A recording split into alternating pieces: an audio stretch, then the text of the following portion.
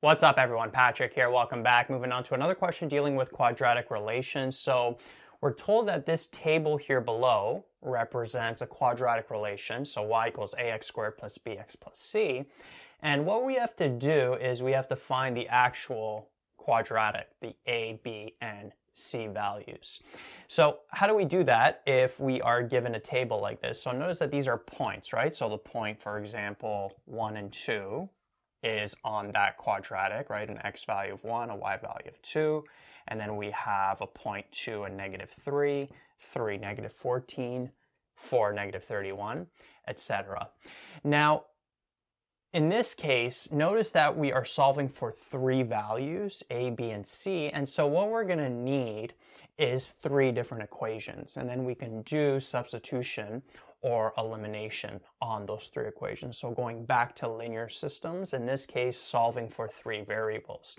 And the way we could create those three equations is we can plug in these coordinates for x and y. So for example, if we take the coordinate 1 and 2, what's the equation we could, uh, we could create? So we would plug in 2 for y, so we'd have 2 equals a 1 squared plus b times 1 plus c, right? Plugged in 2 for the y and then 1 for all the x values. And what do we end up getting here if we simplify all this? Well, 1 to the power 2 is just 1 times a is just a, b times 1 is just b, plus c.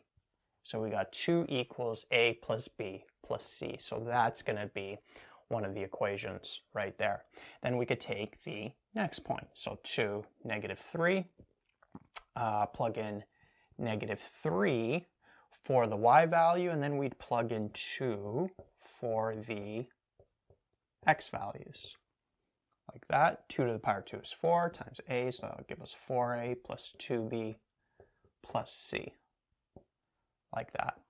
So that right there is another equation. So we got equation 1, we got equation 2 like that. And then you could pick one of these points because we only need three equations since we're only solving for three unknowns. So I'm going to pick this one over here, this point. So we'd plug in negative 14 for y. Then we'd have, uh, we'd plug in 3 for all the x values. Uh, like that. So we'd have negative 14 equals 3 to the power 2 is 9 times a. That gives us 9a plus 3b plus c.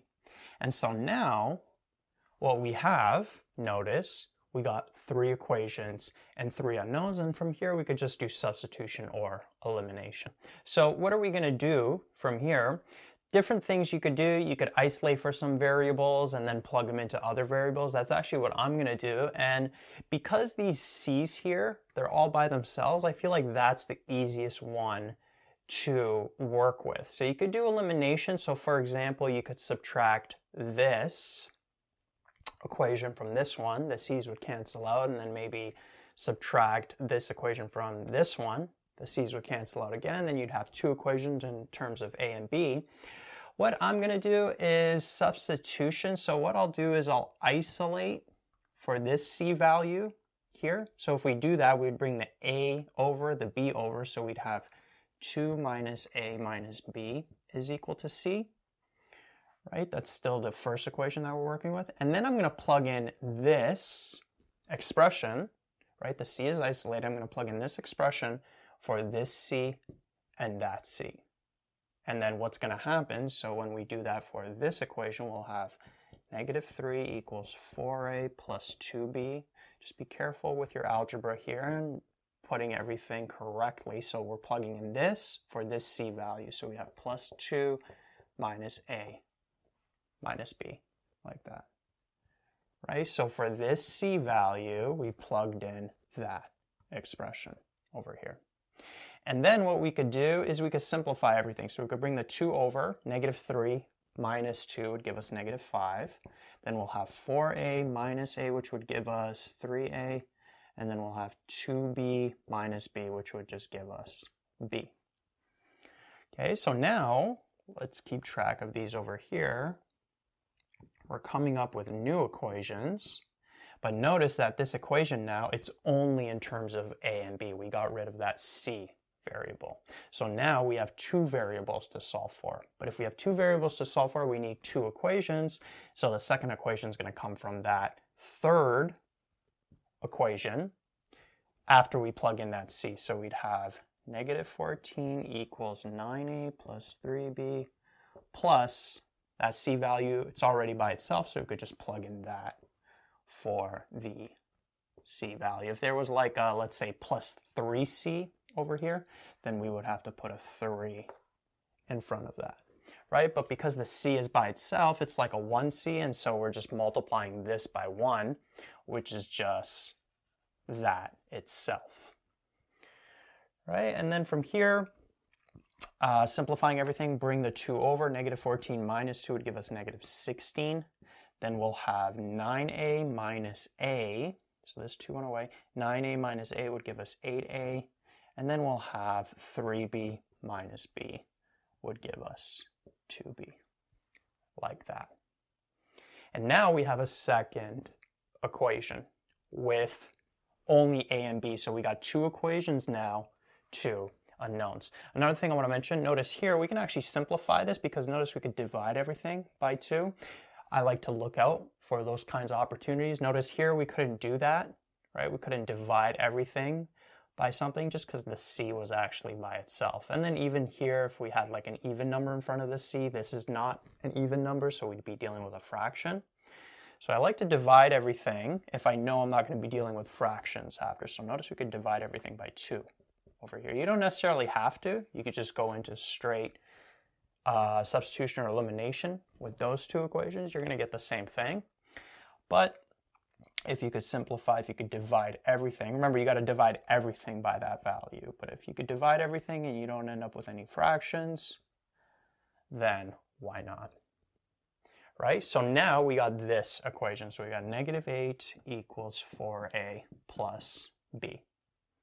And now we got these two equations that we can work with. And we could just solve for the a and the, um, the b value. Notice that the b is actually already uh, isolated in both. So we could just do elimination at this point. We just subtract these two to get rid of those b values. Another thing you could do, you could isolate for this b value, bring the 3a over, and then plug in that expression here and then just solve for a. Whichever way you do it, just make sure you're getting the same values that I am. So what I'm going to do is I'm actually going to um, subtract this from that. So the b's are going to cancel out. So we're going to subtract them. b minus b is just 0b, so that goes away. Uh, we'll have negative 5 minus negative 8, right? Negative 5 minus negative 8, which is like negative 5 plus 8 which would give us positive 3. So this here would be positive 3. Then we'll have 3a minus 4a, which would give us negative 1a, like that. Then b minus b, as we mentioned, it's just 0b. You don't got to write that. And then from here, so we got negative a is equal to 3. Just divide both sides by negative 1. And so a would equal negative 3. So we got one of the values. So we got a equals negative 3. Um, and then we could take this negative 3, we could plug it into either here or here to get the b value. Doesn't matter which one. It's going to be the same. Let's plug it into the first one. So we'll have negative 5 equals 3 times negative 3 plus b. Negative 5 equals negative 9 plus b. So we'll have b equaling negative 9. Bring it over. Negative 5 plus 9 would give us 4. So the b value is 4, like that. And then we still have to solve for the c value. You could take those and plug it into either of these three. You're going to get the same c value. Here it's already isolated, so let's actually just plug it in here, right? The c value is already isolated. So if I plug in that a and b here, we'll have 2 minus the a value of negative 3, put in brackets, minus 4. That's going to be c, so we'll have 2 plus 3 minus 4 equals c, so we'll have 5 minus 4 is equal to c, so we'll have 1 is equal to c. So the c value is 1.